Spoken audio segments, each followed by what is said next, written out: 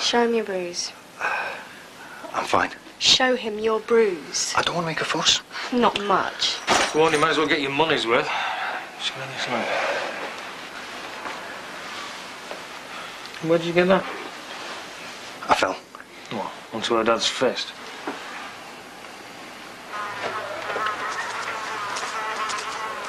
Gotcha. Right, turn around. Where did you two meet? Tommy came to work for my dad. Mistake number one. You were the first person I saw stand up to him. Mistake number two. Quite a revelation. I thought all men were grovellers till then. We are. Oh, oh. Oh, sorry. Well, you've got a broken rib. There's nothing I can do about it, I'm afraid, except offer some advice. oh, take it easy for the next six months. Yeah, something like that. There's no need for an x-ray or anything. Just let Mother Nature take its course. Thanks, Doc.